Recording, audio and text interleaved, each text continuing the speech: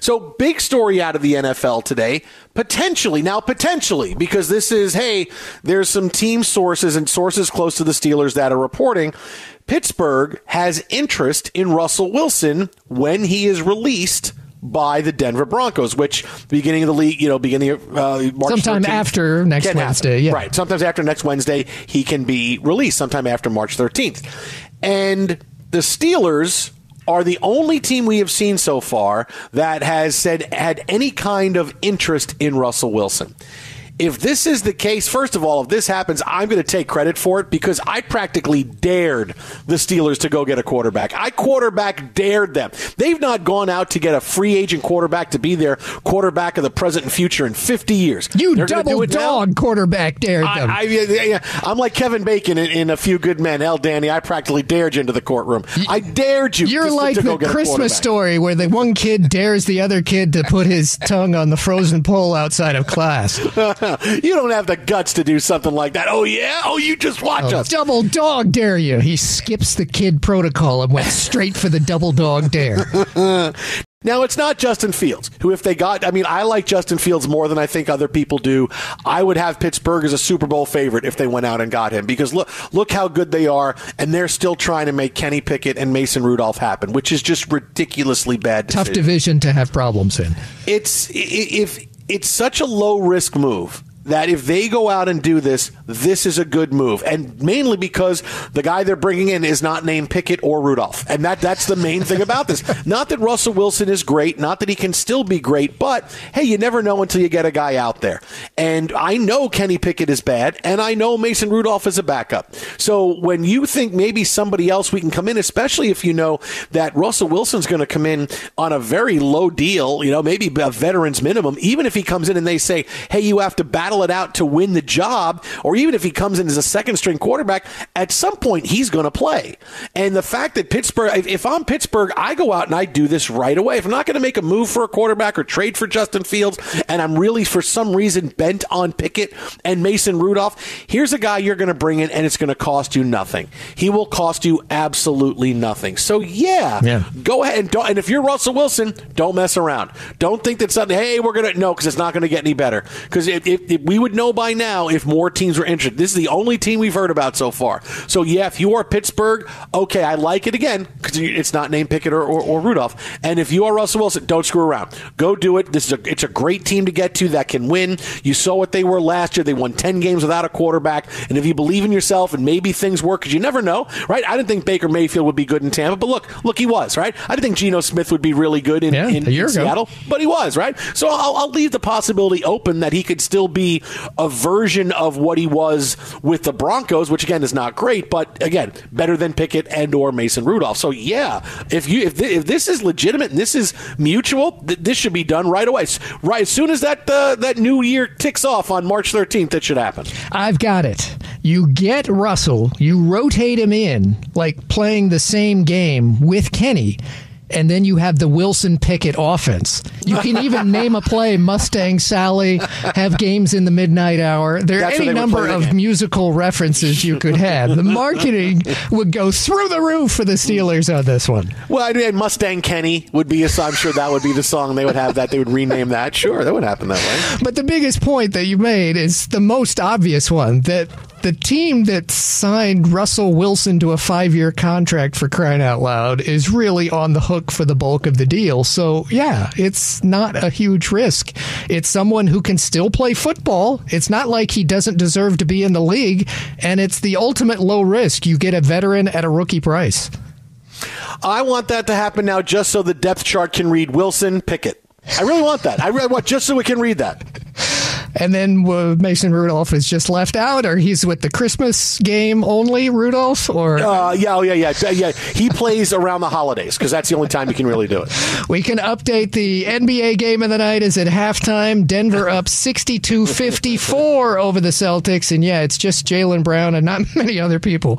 22 out of the 54 for Brown, who had a lower back strain coming in. It's even worse, I'm sure now. It seems like after franchise tag day earlier this week, there are three teams who are just waiving everyone. The Broncos, who continue to waive people, they waived Simmons today. Potentially, they could be trading Jerry Jeudy, Courtland Sutton. Uh, the Buffalo Bills, who waived, I believe, 14 players yesterday. Uh, and the Seattle Seahawks are waiving safeties, other players. These three teams, Steve, are waiving everybody. And their coach, I believe they waived their coach also. Yes. Could be right wrong now, that. right now, in Arizona, people are going, Can we really waive coaches? Can I have we do that? Uh, there is a cap hit somehow. I haven't figured that one out. But you look at these three teams now, and obviously Denver is, is at the forefront of this. What these teams are doing, do any of them have hope for next year? And, you know, you want to start with Denver. Look, they're a complete teardown, right? They're, they're eating all the money for Russell Wilson. They're going to draft a quarterback. And, and, and the fact that they're talking about trading Jerry Jeudy, Courtland Sutton for whatever draft picks they get because they're not going to bring much back because Courtland Sutton's okay, Jerry Jeudy's okay, but they're just kind of jags. Neither of them turn into be superstars. Sutton's 28, Jeudy's 24. Jeudy may have a little bit more uh, value on- on the open market because, or in the trade market because of his youth, but you know they, they don't have a lot, and so this is going to be an absolute teardown for Denver, and, and this is a team that I wouldn't be surprised if, hey. Oh, we get into the early part of the season and suddenly it's oh hey yeah the Broncos are in the running for the number one pick in the draft next year like I would I would not be surprised if that was the reality for the Broncos coming out because they're completely going to blow it up and start over And they're in that division where you think, even if our team's a little better, I'm not sure if we can win this division. And now, yikes. I, I know it was, uh, what was it, before last season or the year before, everybody's saying, oh, Wilson's in this division too. Look at the quarterback. Look at the teams we have in this division. Didn't quite work out that way, but guess what? Patrick Mahomes is still in the division. There's a roadblock. I mean, people have talked years later about how the Eastern Conference playoffs of the NBA, there was a Michael Jordan roadblock for years where other players who probably, quote, deserved a title or a better shot at one couldn't get one because a Hall of Famer was in their way. Maybe this is a good time to rebuild because the Chiefs are in a groove at this point. yeah all that talk of boy look at the greatest quarterback the never better quarterbacks this division this yeah that kind of went away that that that kind of went Quickly, away pretty yeah. fast we don't talk about that But so if when, it, when you get to cap space, it's still nothing like. I mean, since Harmon's not here, I'll talk about the Bears have cap space and actual promise for a future at a different division, or even the Patriots or Washington. I mean, if you talk about who has legitimate, and there always is a team that goes from last to the playoffs, always in the NFL. There are teams that have legitimate. You know, we might be able to contend sooner than I thought. I don't. I don't think Denver is one of those teams. No, no, no, no. Make no mistake, there will be no illusions. No illusion for that in Denver next year. None at all. Uh, now you look at Seattle. They're also made big moves to try to cut you cut.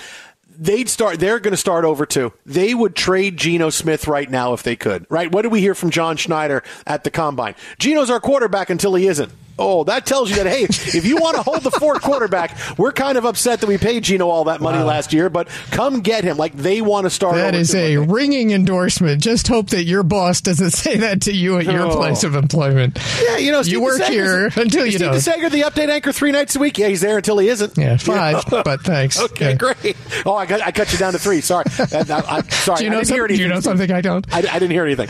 Well, you're doing the show two nights with me. You're doing the show with me tonight. That's tomorrow right. Yeah, there are other people in other shows. so I, they, they would trade Geno Smith if they could. As much as good young talent they have running the football, and, and look, th- their skill position players are really good, right? Their running backs, their wide receivers are really good. But this is also a team that would start over, get start over at quarterback. I don't expect a lot of great things from them next year, and, and, and I think they know they kind of have to. If they want to really take that big springboard step, they need to be able to start over. And that's why I said, if you want a quarterback and you you're not that thrilled about Justin Fields or Russell Wilson, I guarantee you, you could get Geno Smith really cheap. Guarantee it. So Now- you're saying that there are free agent, free agents out there aside from like Nathan Peterman or AJ McCarron, who's going to be in the spring league yet again. We're going to be saying Nathan Peterman's name after Bobby Bonilla Day is over. You know, Peterman's still in the league. You know, he's 46 years old. They could sign the Raiders could sign him to start. They could get they can get him there. I'm telling you. By the way, Bobby Bonilla Day will be usurped one day by Shohei Ohtani Day.